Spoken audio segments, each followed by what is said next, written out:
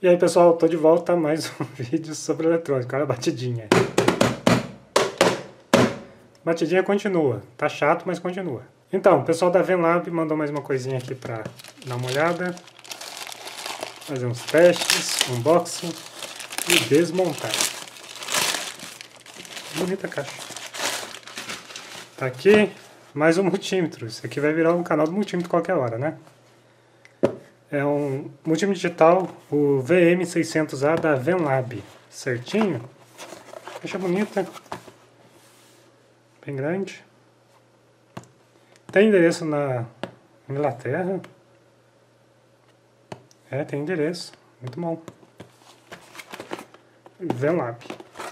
Link para onde comprar, o igual, tá na descrição do vídeo. Compra pelo link. Certinho? Unboxing agora. A caixa é só isso mesmo, não tem muita coisa, né? Tá aqui. Ponta de prova.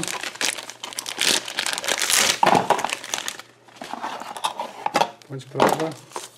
Padrão, tamanho. Sem proteção aqui. Proteção aqui na frente. Que abre. Sai. Você tira, perde e nunca mais acha. Proteção para ponta. Quatro pilhas palito. Fusível extra. Primeiro multímetro que eu recebo aqui, que eu faço teste, que vem fusível extra.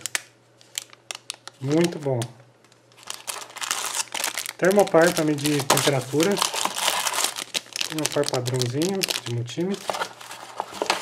Manual. O manual em chinês e em inglês. Vamos ver a precisão básica. Pressão básica sempre em DC, meio por cento, mais ou menos 5 mais ou menos cinco dígitos. Padrão de multímetro atualmente, meio por cento é muito boa resolução. Ele vai até 6 mil contagens, que também é o padrão hoje de multímetro. E tá aqui o multímetro, não é possível.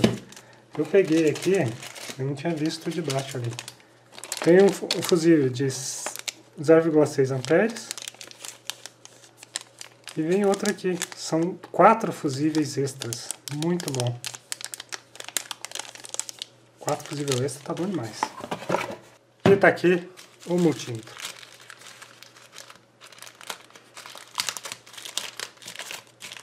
Vou abrir isso aqui sem rasgar o plástico. Ele é bem grande. Na verdade ele é muito grande. Eu acho que ele é maior que o meu a N870. Ele é maior que o N870. Maior, é, bem mais largo. Bem grande. Tem a capinha emborrachada. Muito legal. Tem um negócio de metal aqui. É magnético isso? É magnético. Ó.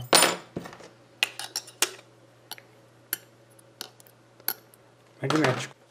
Tem lanterna e detetor de tensão sem contato. O NCV, né, a anteninha que você chega perto de um fio, de uma tomada, ele indica se tem tensão ou não. Tem um indicador de NCV aqui. Displayzão, auto power off, 6.000 contagens, chavinha legal. Esse multímetro é muito legal. True RMS, claro, todos agora, né? Milivolts, AC e DC, volts AC e DC, ohms, continuidade de diodo, capacitância, frequência microampere, corrente microampere, miliampere e ampere, corrente a três escalas, NCV e temperatura.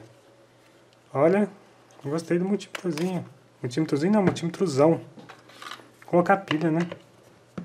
As pilhas vão lá dentro, uma vai lá dentro. Daí vai a outra. Invertido. E fecha.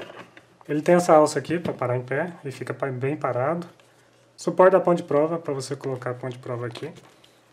E pronto. Eu tô bem impressionado pelo tamanho dele. Ligou. Testar, né? Primeiro teste, continuidade. A gente ouvir o barulho dele.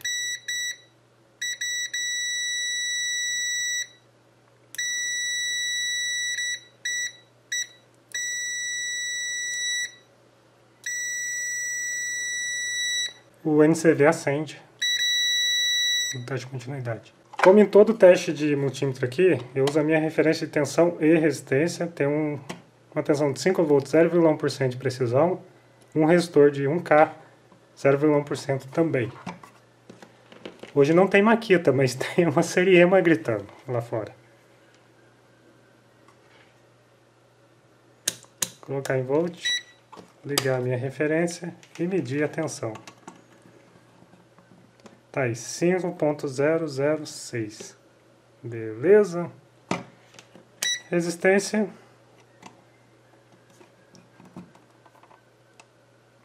Um ponto zero zero dois dentro da margem, tudo certo. Dentro da especificação dele manual, é claro que tem que dar isso, porque é um aparelho novo, foi calibrado em fábrica. Se não desse isso no aparelho novo, é porque era algum problema. Então ele tá, tá ok, normal. Tem capacitância, frequência aqui também. E corrente. Ele tem, acho que não vai ligar. Tem que ligar ele em alguma escala, apertar. Ele tem bateria e o backlight, acende a bateria e o backlight aqui do display. A maioria dos multímetros novos estão vindo com lanterna assim, igual esse.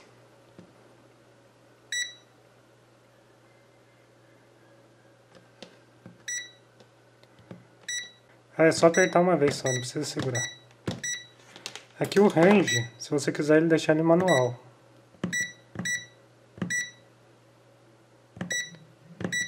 Certinho? Deixa eu fazer outro teste aqui. Vamos testar a temperatura.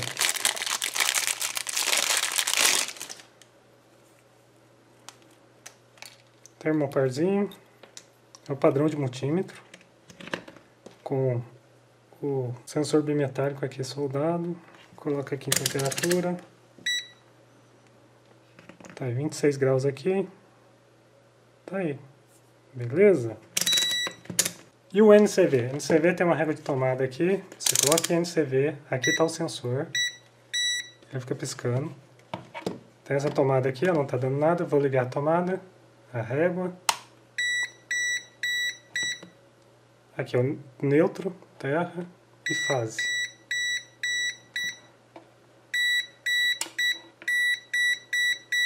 Ele fica vermelho quando está muito próximo.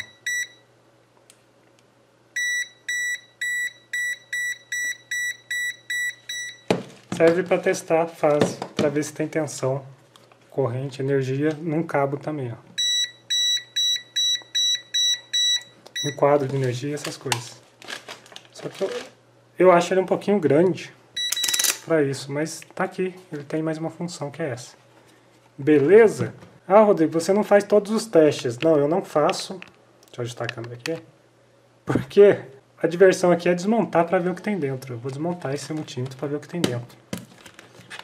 Vamos tirar a capa. A capa é bem, bem rígida. Acho que tem que tirar isso aqui primeiro. Tirar as pilhas. Essa capa de borracha é bem rígida. Bom para derrubar no chão e não quebrar, né? Então tem esse imã aqui, eu não sei se ele para num lugar de metal para ficar numa tipo uma prateleira ou na parede, com ele num lugar de metal. Ele, ele deve parar. Tá aqui, daí ele fica mais leve quando tira a bateria e a proteção dele de borracha. Quatro parafusos. Link para onde comprar está na descrição do vídeo. Compra pelo link, beleza? Olha o último parafuso.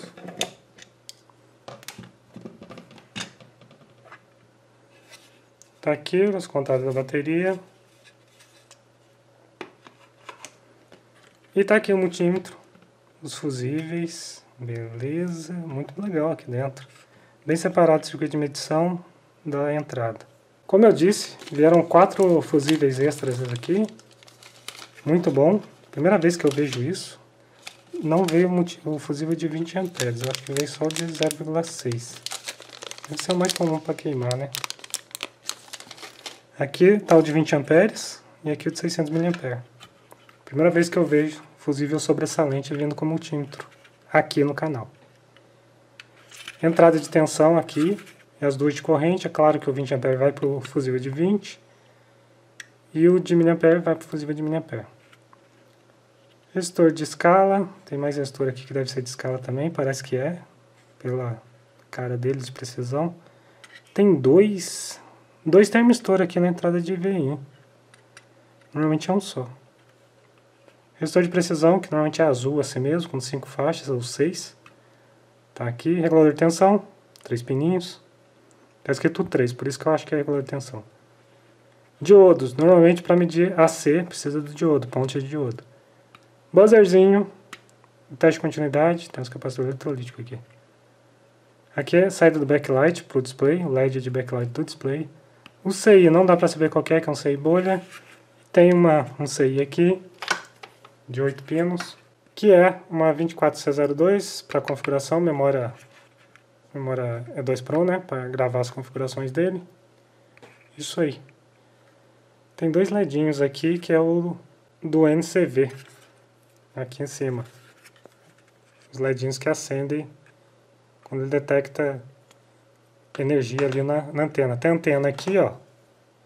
Chega aqui, vai no resistor, e só deve ir para baixo para ir no CI. Aqui deve ser um conector para programar o CI. E é isso, CI de multímetro. Escala, circuito padrão de multímetro, claro. E a bateria entra aqui. Vou abrir mais um pouco, provavelmente embaixo é só a chave e o LCD, não tem mais nada ali. Mas eu abro tudo aqui.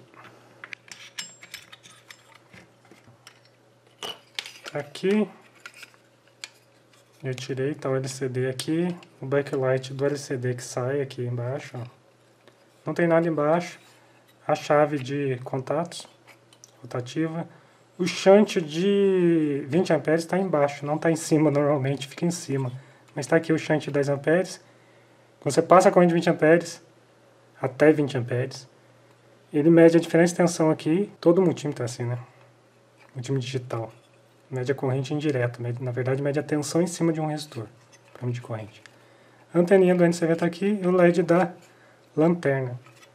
Beleza? Isso aí. Os botões e assim, padrão de multímetros que eu já mostrei aqui.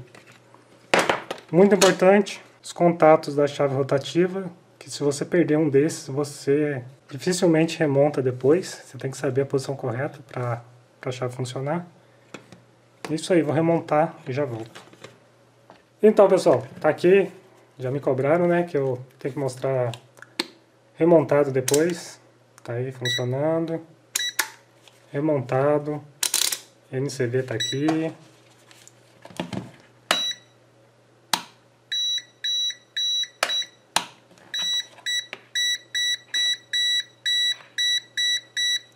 Certinho, tudo certo.